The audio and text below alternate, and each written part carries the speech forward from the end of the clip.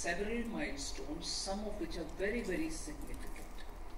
So, I think you would be very well placed to look at 2047 in all its vast canvas, which is what the Honorable Prime Minister Narendra Modi is looking at, pitching before us, and making sure that with the confidence that we have today in India, each one of us will be dedicated to getting there, getting to the 2047 of our dreams 2047, which Indian youth aspire to reach.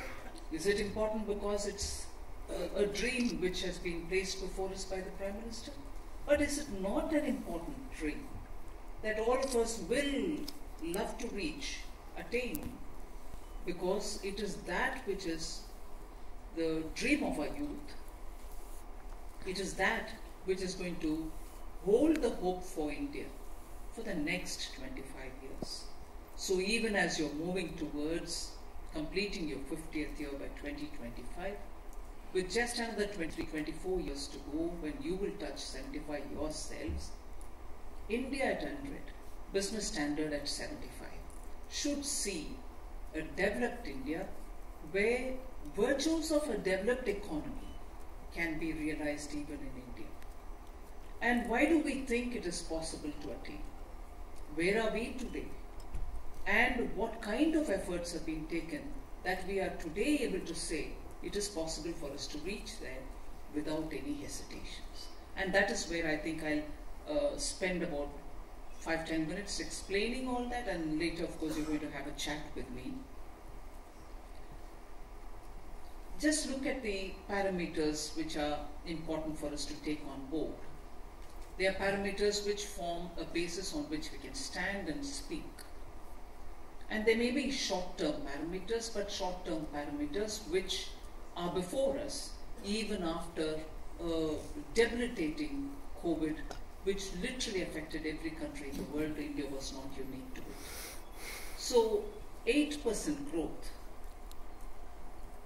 three continuous quarters, ending the third quarter of 23-24, with other parameters all working towards giving us the confidence that we'll be able to sustain good growth. Now I know I, am talking on a media platform.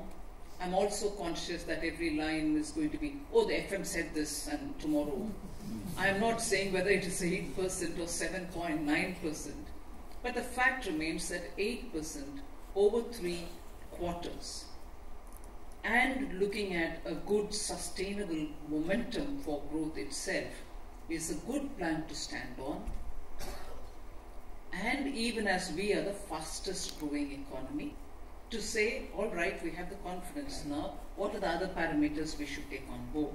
And therefore, if that is the first one on which I want to speak, I also want to highlight the path which has been laid out before us as though it's not as though it has been laid before us without a reason, but the emphasis are on four eyes in laying that path before us.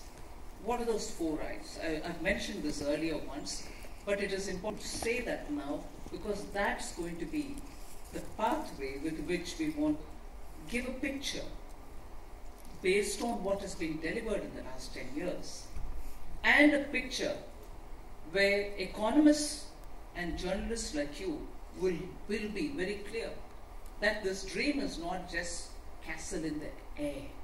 It has ground. It has reason to be trusted because that path is a steady, concrete path to lead us towards that dream.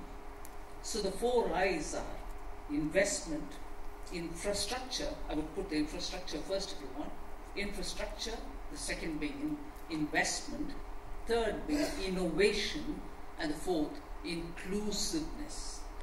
So if, our, if these are the four with which the pathway to achieving the goal of 1947, 2047, developed India, the, the ripple effect which can be caused by each one of these four can give us the mass to have that strength to realize this dream. We could very happily say that these are the four eyes on which we are placing the emphasis, but record of this government will tell you that we believe in all the four eyes. Look at the way from 1.88 lakh crores in 2014-15, the infrastructure or the capital expenditure allocation in the budget, to where it has reached today. It is 11 lakh crore in this budget, which is 24-25. I'm not talking about the vote account. A growth of 433% in these last 10 years. So we believe that one of the eyes is very important because that's what is going to give you the multiplier effect. That's what is going to have immediate uh, ripples uh, because most of the institute constructions which happen or the infrastructure which is being created will bear multiple uh, reserves. So that is a very important factor. Now, as a result, we are able to crowd in private capital. We are also able to see that the gross fixed capital formation is also showing tangible improvement. Now, the at cost and constant price, what we have registered in this year, 24, is 10.2% growth in the growth.